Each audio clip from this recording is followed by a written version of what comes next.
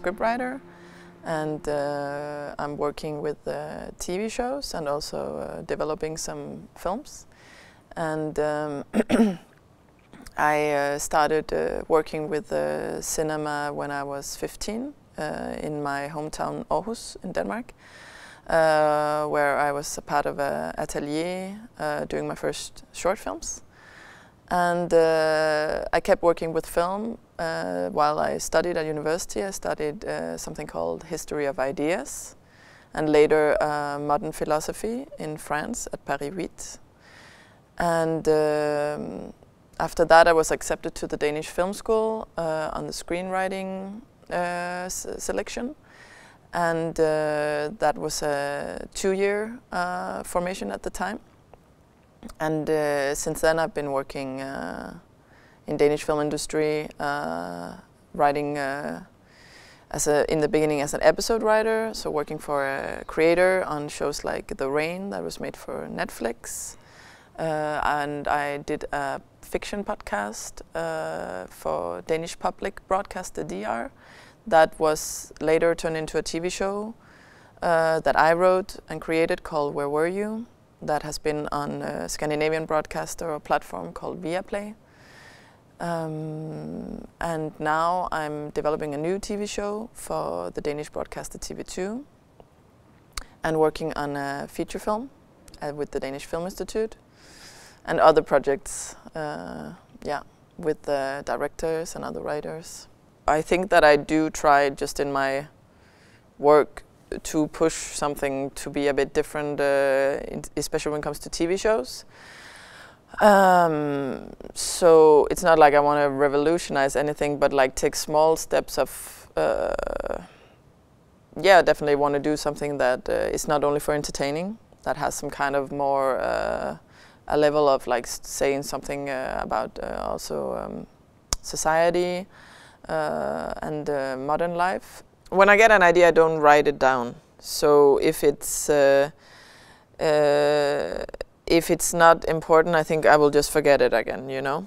But if I if I think because I think like it is subjective. It's like what I, I have to work on something that I like. I can't think too much about what other people's other people like uh, because then uh, I won't have a, a, clue like what I'm doing.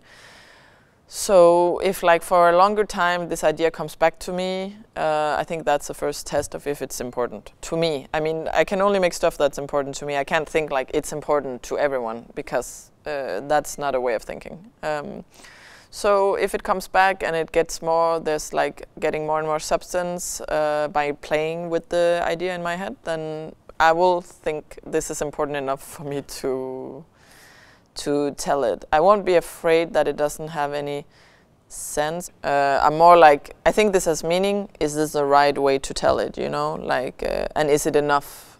Uh, does it have enough material? Can it? Uh, can there be enough characters in this and to, to, for it to be a real story. My own life experiences, I think, uh, gives me more and more uh, material to write on, and I, I'm definitely way more open. I think when I was like a young student, I was more like uh, uh thinking about what the the the um, filmmakers that I admired were doing, whereas now I'm more like way more uh, using uh, my life experiences and uh, people I meet uh, to create the stories. I have uh, worked for others, uh, for creators as an episode writer, and that's completely different from creating your own shows. When I'm working for others, I will, I mean, we will have a lot of time talking about all kinds of stuff. Everyone is bringing their ideas, but uh, ultimately it's the creator who has the it's he has the vision or she I worked with a guy so uh, he had the vision and he uh, he has to follow it through so we're helping him um, and for my own shows because there are few episodes like uh, se seven and six I have preferred to write myself but having someone like have the director very involved in it not writing but giving a lot of notes and we have days where we put it up on a board and we talk about it. Um, so it's depending on the project, uh, but uh, I mean, of course, the choice of people is the most important thing. If you have to work together, uh, not that you necessarily are alike. Actually, you shouldn't. I think you have to be able to challenge each other.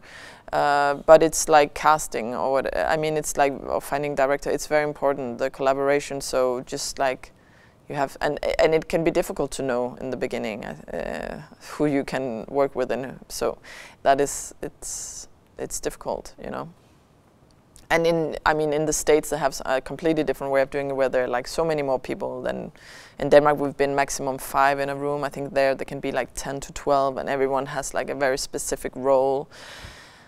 Um, yeah but I think I do believe for for TV show it is important to know that the creator has to make it. So you have to you can't have someone coming and be like I have all these kinds of ideas and all different I mean you have to be able to like uh, it's the person who has like the the responsibility of writing it who has to know what the story is about. So defining the roles, it's important too, and then spending a lot of time together and be generous about talking about your own life and where you come from, private things that help to build a relationship because that's what you need to be able to work together and create something you have a story and then there's like uh, there's a great part when you think everything is possible for your story like uh, this is uh, genius what I what I uh, made up and uh, this is gonna be great. And that's like mostly when you don't have to write that much still like you have to make a one pager or like talk about it to someone. Uh, and I have a really good producer who's always like this sounds great and it's like the world of possibilities. And then when you start writing like I would say like the formats that are kind of unsexy, it's like you have to write a synopsis and a treatment and you have to go sell it. And then it's like a lot about structure, but you're not feeling it so much because you're not on the script level yet. Uh, and then there's a you spend a lot of time on doing that and see what works. Uh, and then I think for me a lot of stuff happens on when you start writing a, a, a script. And uh, I think uh, my teacher used to call it a vomit draft, the first draft, because you just like get everything out and you don't think about structure and you just. I try to do that because I like to get like get the script written and then edit it afterwards uh, many times, and then you just write without thinking, you know.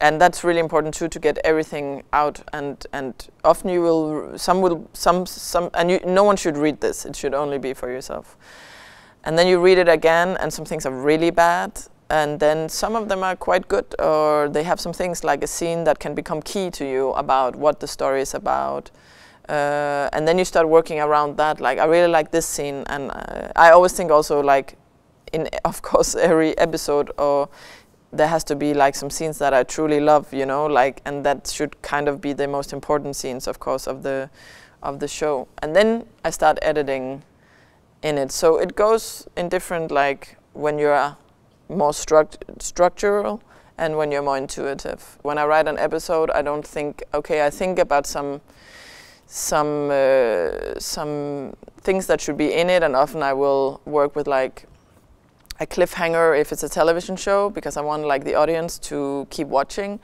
But it's way more with cinema that I use this structure thing, uh, and I think that's because I'm I think that's actually a good part of, of, of writing a TV show is that it's like it's a bit more vast and you can digress and you can follow a character more in one episode. For me, it's still more playful, uh, or at least that's why I like it.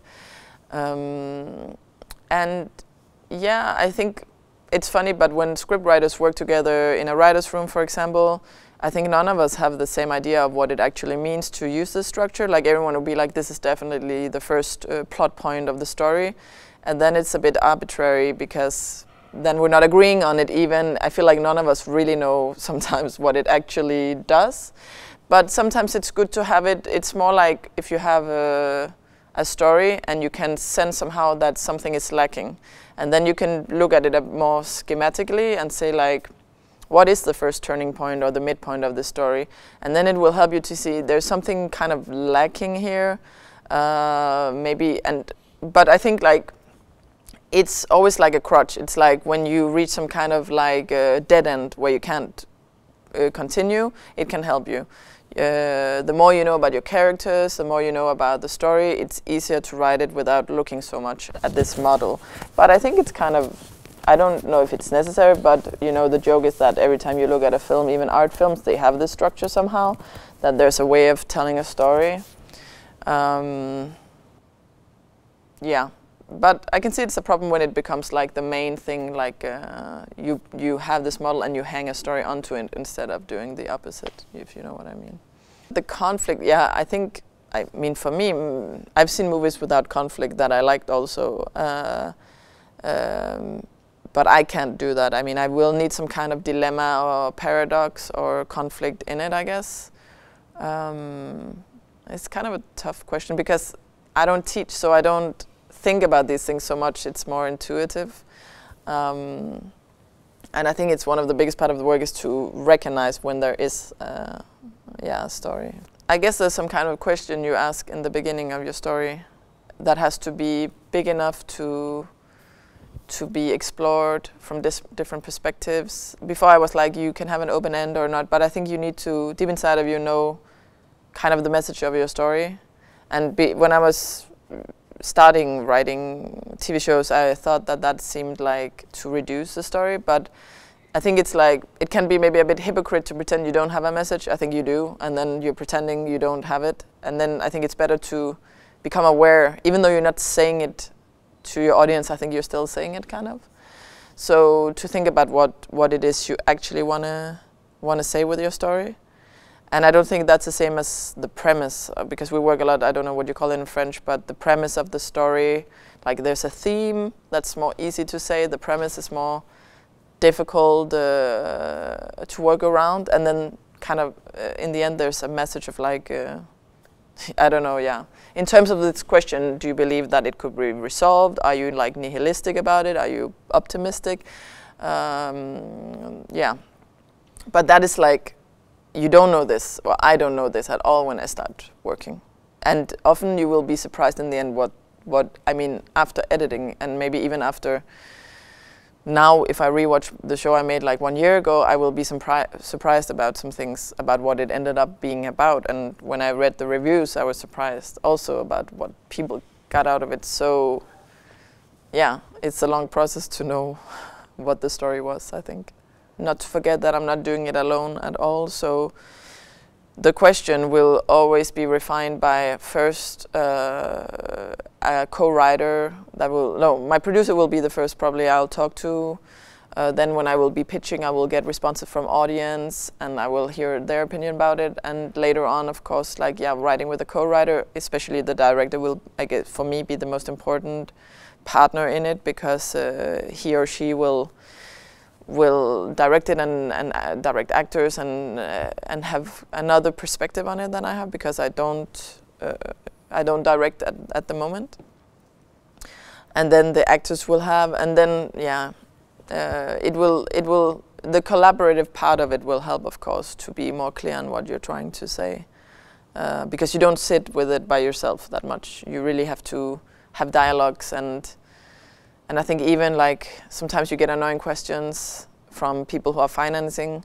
But I think like most questions, even if you find them stupid, there's most of the time something true to it. Like even though they're pinpointing something that you don't want to go that way, what they're saying is probably like some kind of lack in your like in your story. So I think like also very important is to be kind of humble to understand uh, you don't know everything. I mean, I tend to think I know everything about my story, but I definitely don't. And the more experience you get, the more you will also be able to see that in the process of writing, like, okay, now I really have to listen to these people and not just write uh, these darling scenes uh, because I think because in the editing it will anyway we'll have an issue with this. You learn more to see these things. I think uh, when I was like studying philosophy in short films, I thought I was never going to do TV shows because I wasn't that into it, or even the TV shows I like was like very far from something I wanted to do.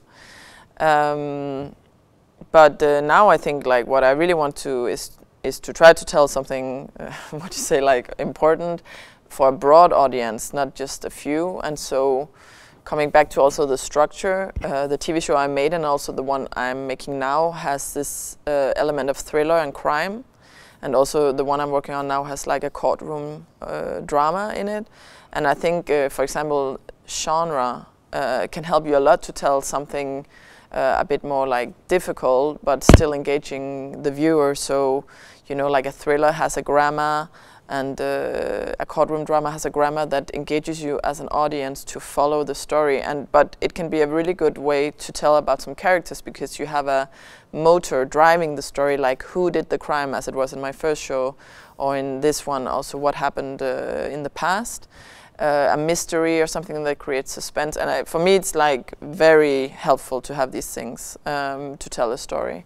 And my favorite TV show is, is Twin Peaks, and it's also about all these characters, but it's in, I mean, if you cut it to the bone, it's just about who killed the girl, you know?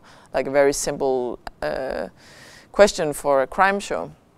So these things uh, can help a lot because you will also know when it's a show, because it's many episodes, you will know like, I will need like a suspect in this uh, in this episode. I will need like uh, the mystery to go further, but still I want to tell about all these characters and their lives. Um, but yeah, it's a it's a motor driving the whole thing, and for me it's very I like that. This is. Uh, a bit cliche, but it's it's just to work, you know, like uh, work with it, get as much. I mean, experience is like really gold, and that's annoying because uh, filmmaking is so expensive often, so it's difficult to get. I mean, of course, writing is can be easier in a way of, as I said, like now I'm doing my own my own stuff, but I used to write for others. But of course, that was extremely helpful because I wrote so many scripts, even though they were for other people's shows. I got so much experience doing that, but it it it is to get I think as much experience as possible, and uh, I mean it's I am sure I was pretty arrogant when I was young and, and making short films. Um, and I think maybe you need that arrogance also to succeed, but sometimes maybe to be a bit more like to really listen to other people because they can help you, you know? You don't always always have the, the right answer yourself. The main idea has to be something you so strongly feel yourself somehow, whether it's about uh, death or survival or love between a mother and her child or whatever, you have to feel it strong enough to to uh, to be able to tell it. But it's difficult to to give a recipe on, on, on how to do that. But yeah, you have to avoid, and, and that's also maybe checking in with other people who tell you the truth. Is is it you who should tell it, or should it be someone else, or should you tell it with someone else? And what is your role, you know, in it?